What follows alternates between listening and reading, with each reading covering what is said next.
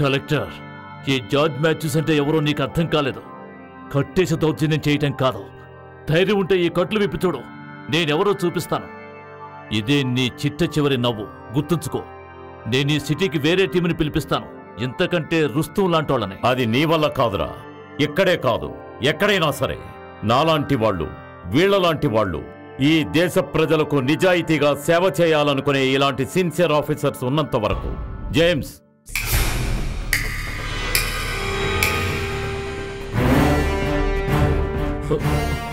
ఒరే కమిషనర్ ఎవరో విదేశీయులు విసిరే పచ్చ నోట్లు నాలుగు చూస్తే చాలురా. నీలాంటి ఆఫీసర్లందరికీ చొంక కారిపోతుంది. వాళ్ళ బూట్లు నాకుతారు! అది కాదు సార్ నాకేమీ తెలీదు. నోరు మూసుకో. నీలాంటి వాడిని నమ్మి ఈ సిటీ లా అండ్ ఆర్డర్ చేతికిచ్చినప్పుడు నాలాంటి నిజాయితీ పరులైన రాజకీయ నాయకులు మీ నుంచి ఎంతో ఆశిస్తామయ్యా. ఎంతో సేవ చేస్తారని. ఎలా సంపాదించావు ఇంత పెద్ద మొత్తంలో ఆస్తి? Criminal connections. నీకు తెలుసా వీళ్ళు అసలు ఎవరనేది? ఇదిగో మన ముఖ్యమంత్రి గారు ఢిల్లీకి వచ్చి ఇక్కడున్న ఎవరితోనూ చెప్పని విషయాలు నాతో చెప్పినప్పటి నుంచి వీళ్ళు నిన్ను అనుసరిస్తున్నారు. నీ వెనకాలే ఒక నీడలాగా.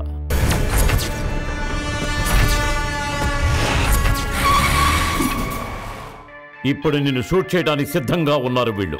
లోడెడ్ గన్స్తో.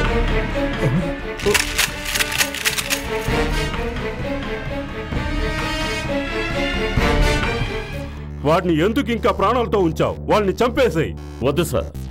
ప్రస్తుతానికి వీడిని ప్రాణాలతో ఉంచాలనుకున్నాను నేను. వీడు నాకు కావాలి సార్. వీళ్ళలో దాగి ఉన్న రహస్యాల్ని కక్కించాలి. అశోక్!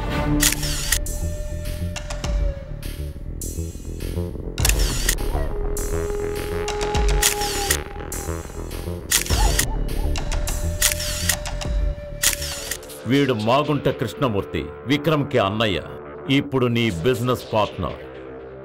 వీడికి ఎందుకని ఈ సిటీ మీద అంత ప్రేమ?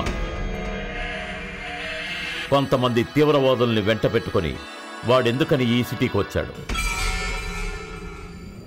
వీళ్ళ తుపాకులకు దొరికి తప్పించుకోబడిన ఆ తీవ్రవాదులకు ఎందుకని వీడు రక్షణ కల్పించాడు?